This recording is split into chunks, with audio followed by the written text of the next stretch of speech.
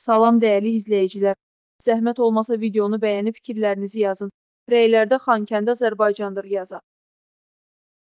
Riya Beqleriyanla müsahibəni sildi təcili. Rusiyanın rəsmi dövlət agentliyi RIA Novosti Azərbaycanın Qarabağ iqtisadi zonasının bir hissəsinə müvəqqəti yerləşdirilmiş Rus sülh məramlılarının məsuliyyət zonasında hələ də fəaliyyət göstərməyə çalışan erməni separatçı terrorçularının biri qondarma dövlət naziri Artak Beqleriyanın müsahibəsini silib. Axaras xəbər verir ki, Beqleriyanla müsahibəni hazırda saytda açılmır. Qeyd edək ki, məhz bu məqaləyə görə RIA Novosti agentliyinə giriş Azərbaycanda bloklanıb. Ukrayna diversiya qrupu Rusiyaya girdi. Döyüşlər gedib. Ukraynanın diversiya qrupu Bryansk vilayətinin ərazisinə daxil olub. Daha sonra Ukrayna ilə sərhəddəki sərhəd keçid məntəqəsi atəşə tutulub. Axaras xəbər verir ki, bu barədə bazı Telegram kanalı məlumat yayıb.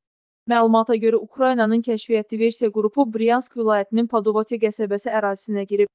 Ərazidə döyüşlər gedir, onların yerləşdiyi ərazi qumbaratanlardan və haubitsalardan atəşə tutulub.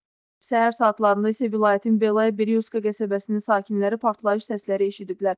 İlkin məlumata görə bu Ukrayna ilə sərhəddəki keçid məntəqəsinə hücum cəhdi olub. Lavrov İrəvanda incə işarə etdi. Zəngəzur dəhlizi olmayacaq. Rusiya Xarici İşlər Naziri Sergey Lavrov Azərbaycanla Ermənistan arasındakı sülh prosesindən bəhs edərkən Zəngəzur dəhlizinin açılmayacağını mümkün diplomatik üslubla söyləməyə çalışdı. Sergey Lavrov bu məsələdə Kremlin Zəngəzur dəhlizi ilə bağlı mövqeyində qərarlı olduğunu ortaya qoydu. Yəni 10 noyabr 2020-ci ildə imzalanan üç tərəfli bəyanata görə açılması nəzərdə tutulan Zəngəzur dəhlizi olmayacaq. Lavrovun İrəvanda səsləndirdiyi açıqlamalardan bunu aydın şəkildə duymaq mümkündür. Axar az xəbər verir ki, bu sözləri Qafqaz Strateji Araşdırmalar Mərkəzinin rəhbəri Həsən Oqtay publikası açıqlamasında Rusiya Xarici İşlər Nazirliyi rəhbəri Sergey Lavrovun Ermənistana səfəri və erməni həmkarı ilə keçirdiyi görüşdən sonra mediaya bəyanatını şərh edərkən deyib. Bunun önünə keçmək üçün Türkiyə-Azərbaycan-Ermənistan sülh razılaşması sürətləndirilərək bu proses gündəmə gətirilə bilər. Əks halda Rusiya ilə İran, Türkiyə, Azərbaycan, Ermənistan arasında gözlənilən sülhün önündə böyük əngəllər yaradacaq o bildirib. Azərbaycandan Sputnikə ağır zərbə. Onlar ölkəni tərk etməlidir. Sputnik Azərbaycan saytının baş redaktoru Antonova Trizna Veronika ilə həmin media orqanının prodüseri və onun həyat yoldaşı Pavel Antonovun Azərbaycanda müvəqqəti yaşamaq üçün icazələrin verilməsindən imtina edilib və onların müvəqqəti yaşama icazələri ləğv edilib. Alpaz Dövlət Miqrasiya Xidmətinin saytına istinadən xəbər verir ki, Belarus vətəndaşı olan hər iki şəxs 10 gün ərzində ölkəni tərk etmək məcburiyyətindədirlər. Moskva Bakının önündə geri çəkilir. Düzəlişlərin səbəbi Rusiyanın rəsmi dövlət agentliyi RIA Novosti erməni separatçı terrorçu Artak Beqleriyanla müsahibəsi saytından silib. Rusiya Xarici İşlər Nazirliyi Sergey Lavrovun da ötən gün İrəvanda Fərux kəndi ilə bağlı səhvini düzəltdi. Rusiya Mədəniyyət Nazirliyi isə erməni rəssamın Dağlıq Qarabağın sirləri sərgisinin adından Dağlıq Qarabağ sözünü çıxartdı. Moskva bütün bunları xoşluqlu etmir, Bakının tələbi qarşısında etməyə məcbur olur. Lakin bu cür təxribatlara yol verilməsi ardınca edilən düzəlişlərin üç hədəfi var. Birincisi, Rusiya Azərbaycanın əsəblərini yoxlayır, müqavimətinin hara qədər ola biləcəyini sınayır. İkincisi, Bakıya separatçıları legitimləşdirə də bilərik mesajını verir. Üçüncüsü, separatizmin və təxribatın olmaması üçün Moskvanın mövqeyi nəzərə alınmalıdır demək istəyirlər. Rusiyanın Xocalı narahat eləyiği artır Bakı Moskvanın planını bilir. Dünyada və Cənubi Qafqazda gedən son geosiyasi proseslər və hərtərəfli inkişaf baxımından dayanıqlılığın təmin olunması Azərbaycanın qarşısına qoyduğu prioritet məsələlərin daha tez həlli yolunda yeni imkanlar açır. Ölkəmiz postmüharibə dövründə istər işğaldan azad edilmiş ərazilərinin yenidən qurulması, istərsə də regional və beynəlxalq layihələrin reallaşdırılması istiqamətində öz səylərini uğurla davam etdirir.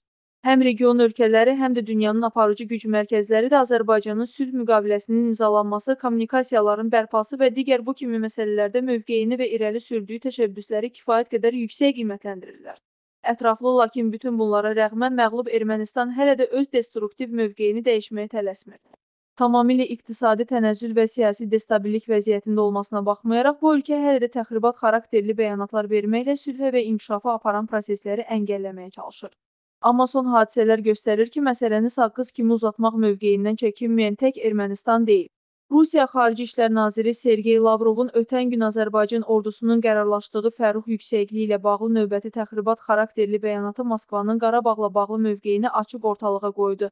Erməni həmkarı Ararat Mirzoyanla keçirdiyi görüşün yekunlarına dair keçirilən mətbuat konfransında Rusiya hərbçilərinin Qarabağda Fərrux yaşayış məntəqəsi ətrafında vəziyyəti prioritet olaraq nəzərdən keçirdiyini qeyd edən Lavrov bildirib. Vəziyyətə gəldikdə Rusiyalı hərbçilər və bizim erməni dostlarımız bu barədə yaxşı məlumatlıdırlar. Bunu öz prioritetlərindən biri kimi saxlayırlar.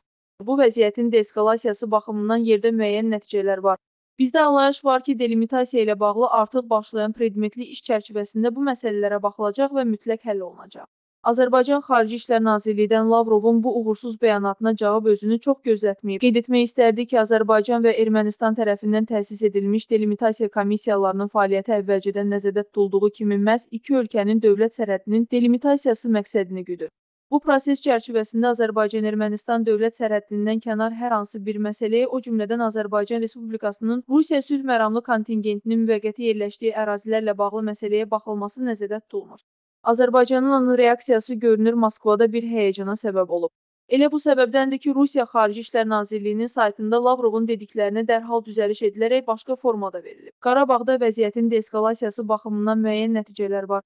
Ümid edirik ki, Ermənistan-Azərbaycan sərhədinin delimitasiyası prosesinin başlaması Bakı ilə İrəvan arasında etimadın artmasına və Rusiya sülh məramlı kontingentinin məsuliyyət zonasında Fərrux kimi insidentlərin qarşısını almağa kömək edəcək.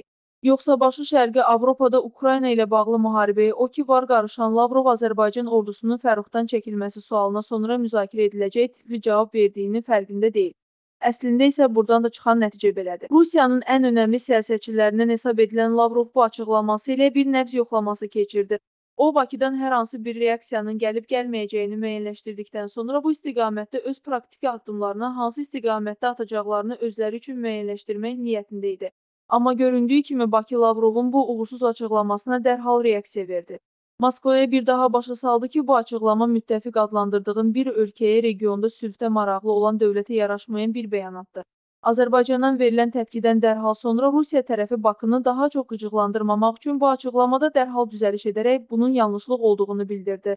Amma həqiqət acı olar. Qarabağdakı proseslərlə bağlı Rusiyanın mövqeyi elə Lavrovun Fərrux kəndi ilə bağlı ilk açıqlaması qədərdir. Ruslar nədənsə bu Fərrux dağı ətrafındakı məsələləri çox şişirdilər. Belə təəssürat yaranır ki, Xocalı ilə bağlı Rusun narahatlığı ermənidən çoxdur. Rusiya Qarabağ ərazisindəki yüksəkliklərə sahib olmaq və bu yüksəklikləri yiyələnmək uğrunda həm 44 günlük müharibə dövründə istərsə də ondan sonraki mərhələdə çalışdılar ki, ermənilər bölgədəki bu yüksəkliklərdə mövqelərini qoruyub saxlasınlar. Bunun da səbəbi aydındır. Həmin ərazilərdən Qarabağa və Zəngəzura nəzarət etmək mümkündür. Lakin Azərbaycan ordusu həmin mövqeləri götürərək o yüksəkliklərdə lazımın üstünlüyünü əldə etməklə Qarabağ və Zəngəzurdakı bir çox prosesləri çox yaxından müşahidə etmək imkanı əldə etdi. Görünür, Rusiya tərəfi Azərbaycan ordusunun onların müvəqqəti nəzarət zonalarında hansı işlərlə məşğul olduğundan, nələr etdiyindən, işlərinin nədən ibarət olduğunu biləcəklərindən narahatdılar. Xatırlamaq yerinə düşər ki, Rusiya rəsmilərinin, xüsusilə Rusiya Müdafiə Nazirliyinin Xocalının Fərrux kəndindəki durumla bağlı açıqlamaları əvvəllərdə Azərbaycan tərəfinin sərt reaksiyasına səbəb olmuşdu. Azərbaycan Müdafiə Nazirliyinin rəsmi olaraq yaydığı bəyanatda qeyd olunmuşdu ki, Fərrux kəndi Azərbaycanın nəzarəti altındadır. Azərbaycan ordusunun ölkəmizin suveren ərazilərinin tərkib hissəsi olan Fərrux kəndi və ətraf yüksəkliklərdəki mövqelərində heç bir dəyişiklik baş verməyib. Rusiya Müdafiə Nazirliyi Azərbaycana atəşkəsi pozmaqda ittiham edərək bəyan etmişdi ki, Azərbaycan hərbçiləri Fərrux kəndindən geri çəkilib. Rusiyanın atəşkəs barədə iddialarını həqiqətə uyğun olmayan adlandıran Azərbaycan Müdafiə Nazirliyi bunu təqzib edərək silahlı qüvvələrinin geri çəkilmədiyini bildirmişdi.